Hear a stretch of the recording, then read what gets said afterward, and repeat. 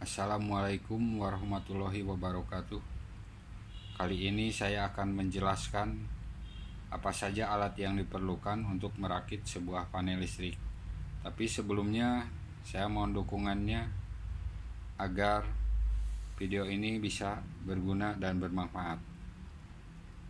Di hadapan saya ada beberapa alat-alat listrik yang harus kita ketahui dan pahami dari alat-alat tersebut sebelum merakit sebuah instalasi listrik. Yang pertama ada box panel. Fungsinya untuk merakit sebuah instalasi listrik. Kemudian ada NFB.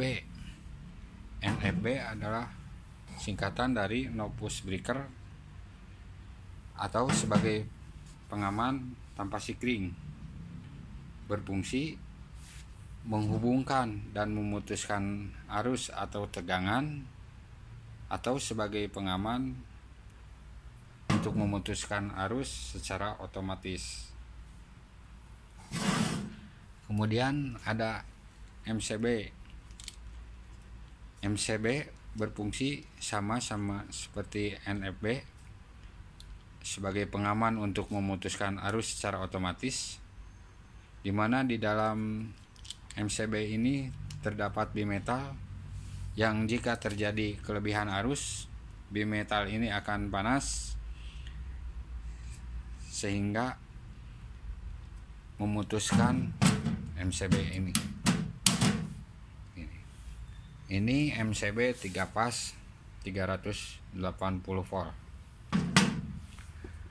Kemudian ini ada MCB 1 pas 220 volt fungsinya hampir sama dengan MCB 3 pas. Hanya ini digunakan biasanya untuk rangkaian kontrol dari instalasi listrik. Kemudian ada ada kontaktor kontaktor berfungsi untuk menghubungkan dan memutuskan arus atau tegangan secara elektromagnetik atau kemagnetan. Di dalam kontaktor ini terdapat koil di mana bila koil ini dialiri listrik maka akan menimbulkan magnet dan akan menarik kontak-kontak yang ada di dalam kontaktor ini sehingga kontaktor bekerja. Kemudian ada relay.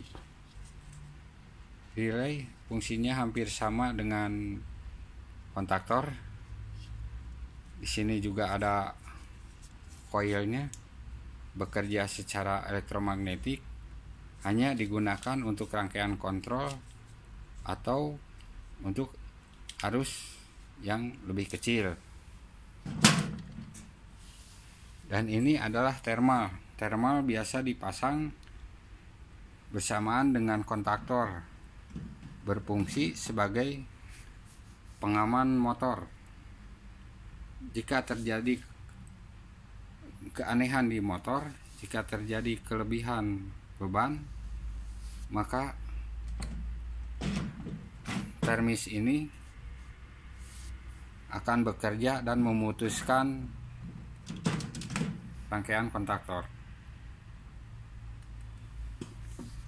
Kemudian ada tombol start atau push button start berfungsi untuk menyalakan sebuah rangkaian listrik tombol start kemudian ada tombol stop.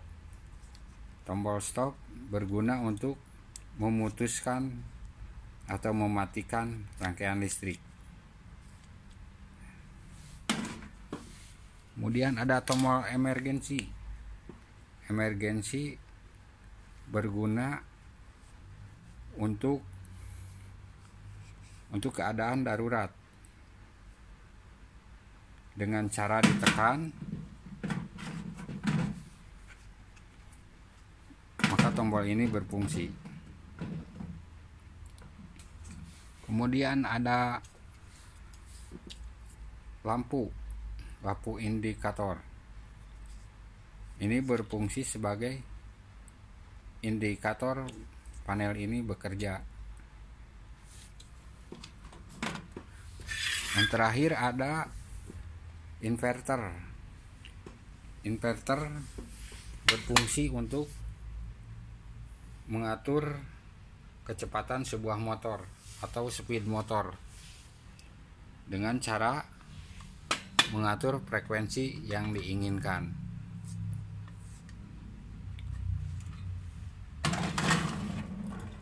Itulah sekilas penjelasan saya. Mudah-mudahan bisa berguna dan bermanfaat. Assalamualaikum warahmatullahi wabarakatuh.